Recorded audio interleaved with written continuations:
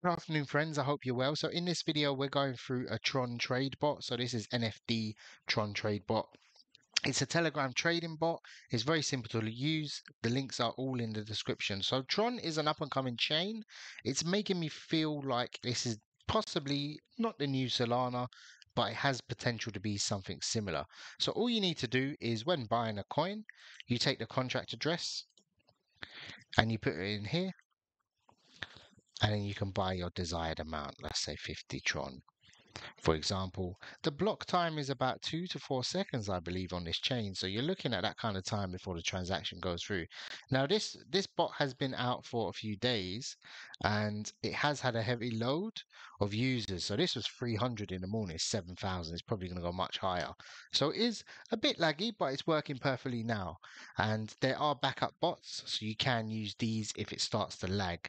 I was using the Europe one earlier. Now, what I'd pay attention to when using the bot is the settings. So I want at least 10 to 10 slippage. Yeah. If you're trading a coin that's established, like this one, potentially you could lower it down. I would put it at 5.5. It won't make much of a difference, but it stops you getting front run in that.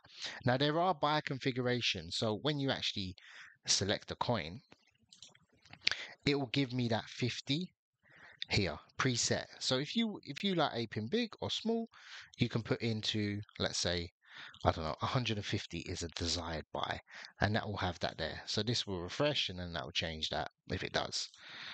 Or we can just open up the settings. Again.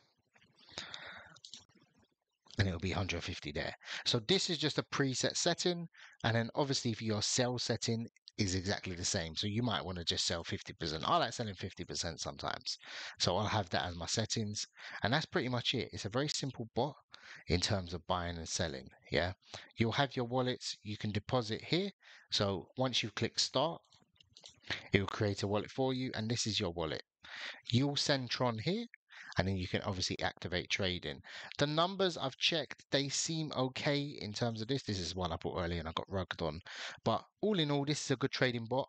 I would recommend it as a whole.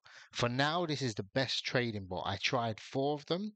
This is the best one so far, and it's a reputable team behind it uh, which is what I looked for. I didn't want to just use a small little bot or recommend a little bot.